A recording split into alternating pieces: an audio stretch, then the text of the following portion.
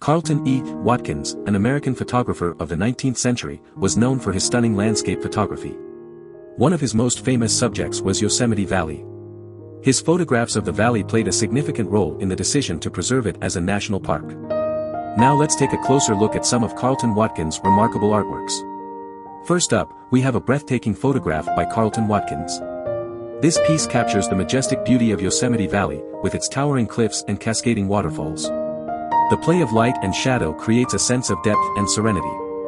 Moving on, we come across another masterpiece by Watkins. This photograph showcases the grandeur of Half Dome, a prominent rock formation in Yosemite. The composition is perfectly balanced, with the mountain dominating the frame and the surrounding landscape adding to its magnificence. Next, we have a captivating image of Yosemite Falls, the highest waterfall in North America. Watkins skillfully captures the sheer power and beauty of the cascading water, making us feel as if we are standing right there, witnessing this natural wonder. In this photograph, Watkins takes us on a journey through the Mariposa Grove, home to some of the largest and oldest living trees on Earth. The immense size and age of these giant sequoias are beautifully portrayed, evoking a sense of awe and reverence. Moving forward, we encounter a mesmerizing image of Glacier Point, offering a panoramic view of Yosemite Valley. The vastness of the landscape is captured in all its glory, with the distant mountains and valleys stretching as far as the eye can see. As we continue our exploration, we stumble upon a photograph of El Capitan, a massive granite monolith that is a symbol of Yosemite National Park.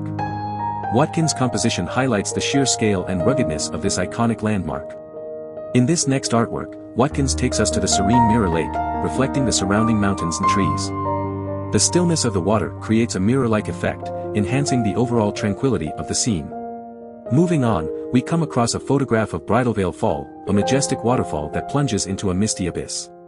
Watkins captures the ethereal beauty of the falling water, creating a sense of wonder and enchantment. Next, we have a stunning image of the Yosemite Valley at sunset. The warm hues of the setting sun bathe the landscape in a golden glow, creating a magical atmosphere that is both serene and captivating.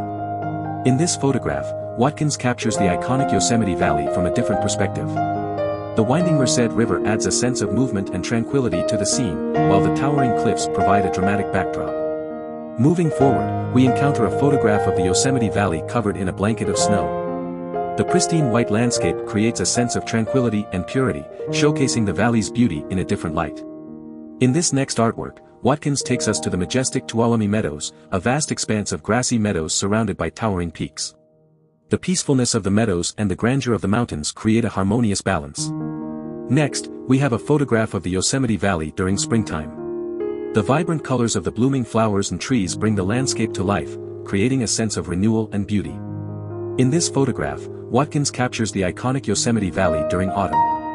The golden hues of the changing leaves create a warm and inviting atmosphere, showcasing the valley's beauty in a different season. Lastly, we have a photograph of the Yosemite Valley at night. The twinkling stars and the illuminated valley below create a sense of wonder and awe, reminding us of the beauty that exists even in the darkness. These are just a few examples of Carleton Watkins' incredible artworks. His photographs not only captured the beauty of Yosemite Valley but also played a significant role in its preservation as a national park.